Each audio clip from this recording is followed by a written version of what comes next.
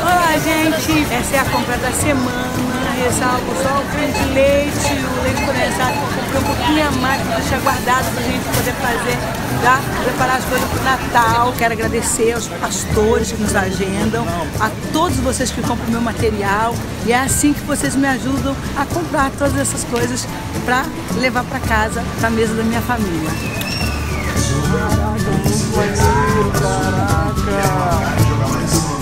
Gente, leite lá em casa. Tem que levar muito. Ó, essa é a compra da semana. Só dá pra semana. Olá, gente. Eu estou entrando no mercado para fazer a compra da semana junto com o pastor Anderson, meu marido. Ó, ó, a semana filho. passa rápido, né, amor? Meu Deus, e a lista, amor, tá grande? Enorme. Tá chegando o Natal, my God. Meu Ei, está chegando o Natal.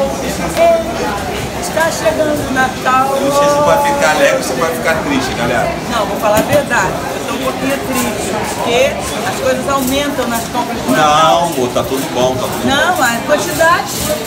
Comprar mais, quantidade de tudo. Agora, qual o motivo para essa diferença na inflação entre os mais ricos e mais pobres? Bom, a explicação, Ana, está nos itens que mais pesam no bolso de cada grupo. Por exemplo, os alimentos, que consomem grande parte do orçamento dos mais pobres, estão mais baratos.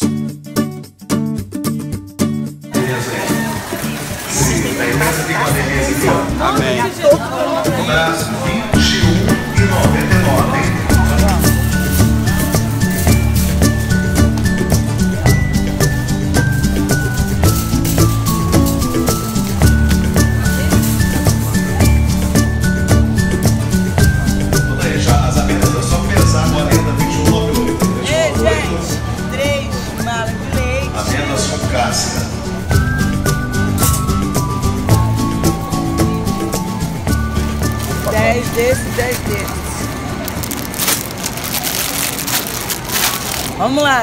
20 miojos, 10 de um de carne e 10 de galinha.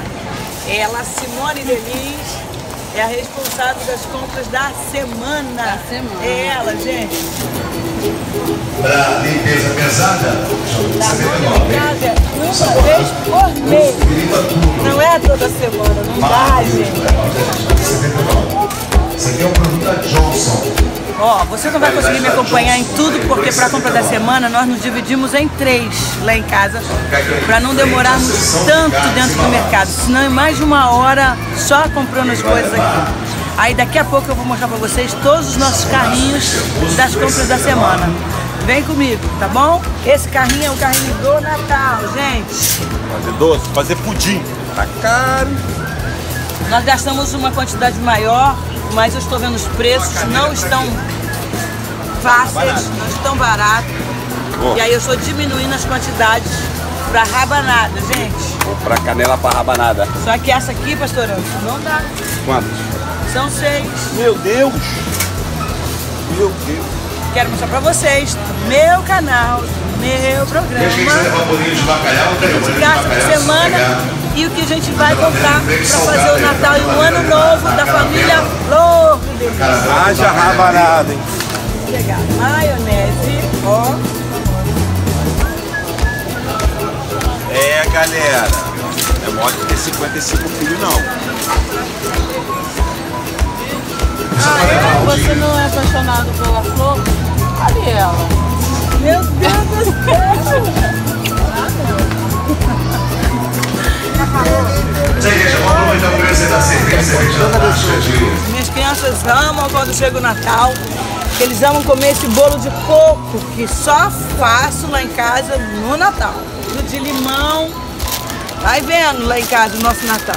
O que eles mais amam é o de chocolate. Olha o aumento, é a mesma marca. Só que chocolate, olha lá, o preço Boa. original. Fa- faz pouco bolo, amor. Faz E é o que eles bolo. mais gostam. Faz pouco bolo, por Entendeu? favor, amor. Haja agenda, gente. Haja agenda. é para o Natal. Vai vendo. Bora, bora. Gente, eu tô aqui com a Laudiane, eu tô aqui com a Raquel, tá? Elas autorizaram fazer a gravação para o programa. Estão falando que a economia está melhorando, que os preços estão acessíveis, estão bons. E o aumento do gás, gente, de cozinha? Assustou? Assusta, assusta qualquer um, assusta. Natal não tá fácil não, tá Não. bem mais caro. Ninguém melhor do que um chefe de família para falar. Edson, estão falando por aí que agora que o preço de muitos, muitas coisas abaixaram. Tá muito caro. Abaixou mesmo, porque a gente está vendo a dificuldade de colocarmos as coisas na mesa. E o aumento do gás?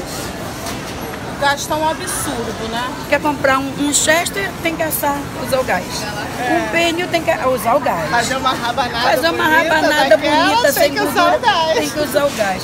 Esse preço assustou bastante. Essa economia que estão falando aí não chegou pra gente, dona de casa. E é isso que eu quero mostrar pra vocês. Nós, donos de casa, estamos sofrendo para poder colocar comida na mesa dos nossos filhos. Isso, gente, lá em casa, só no Natal. Pastor, não sei pegar sardinha, porque lá em casa o ovo rende com fritado. E, gente, nós amamos poder fritar. Minha filha tá me chamando a atenção porque tem que falar omelete de sardinha, entendeu? Fritada. É omelete. Frita. Fala. Aí Caramba, até também. caiu, cara. É chique, é fritada pra comer de noite. Quando chega da agenda, tem que comer. Faz a misturada e Gente, Não, ó, isso aqui é isso aqui é de uma semana. Que bom, gente, que eu encontrei aqui no mercado corajosos para falar do preço das coisas, dessa economia mentirosa que estão falando por aí. que Tá fácil colocar comida na mesa. Não está fácil para ninguém. Nós comprávamos por R$ 5,79, nós estamos comprando agora por R$ 9,95 o arroz. São 35 quilos de arroz e 14 quilos de feijões por semana. Senhor, tem misericórdia. E só tem 0,2% de azeite Santiago valendo agora, hein? Seção de carnes embaladas?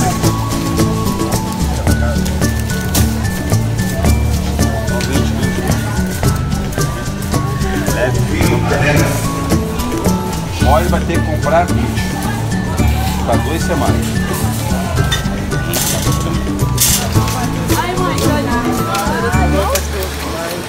Ó, eu vou correr, que agora eu preciso pegar a promoção, tá bom? Senão eu não vou pegar. Pode ser um Foi! chefe, pode ser uma. Meu!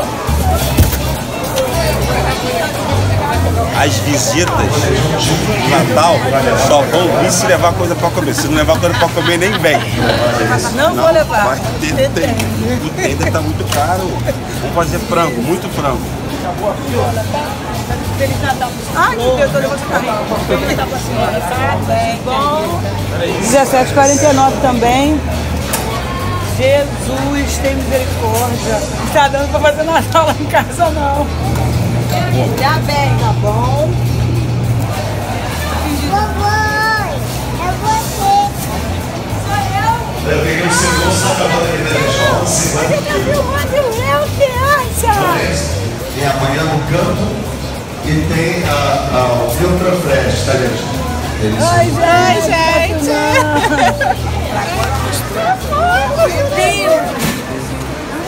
Esse povo que gosta de reteté acha a senhora em todo lugar, O né? povo do manto, né? Não tem jeito não, gente. Acha a senhora em todo lugar, né?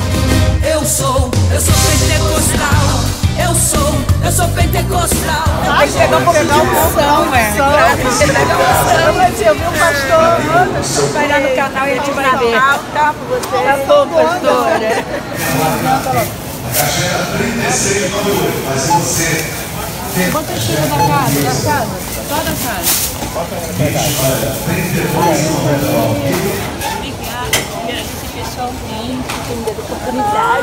É, gostei muito, muito bom. Eu vou passar as telas. Gente, acabamos de fazer as compras, como vocês veem aí, eu fui citando alguns preços, arroz aumentou, feijão dobrou o preço, as coisas têm aumentado assustadoramente. Vocês viram aí depoimento de algumas pessoas, donas de casa, trabalhadores, que deram seu depoimento sobre o aumento das coisas. Ela é mãe, ela é dona de casa. Estamos andando, pesquisando para ver onde a gente encontra um precinho assim mais em conta que caiba no nosso bolso. Sai de casa com o plano, chega aqui e a gente se surpreende. Que economia é essa que estão falando aí nas Estão mídias? falando que a inflação está baixando, os índices econômicos estão melhorando, que a economia está reaquecendo.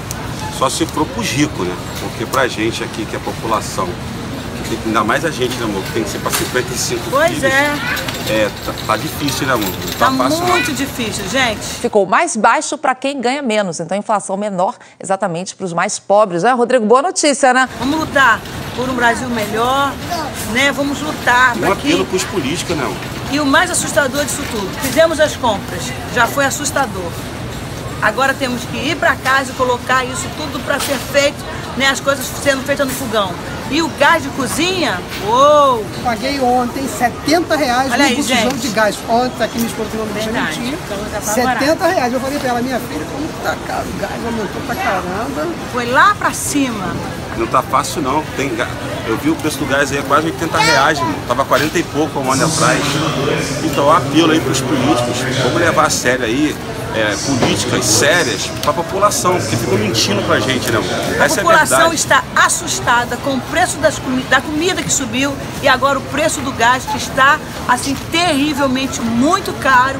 Aonde vamos parar com tudo isso? E ainda fala que a luz vai aumentar, sim, numa boa. Ano que vem é ano de eleição, né? Vamos ficar ligados aí, galera.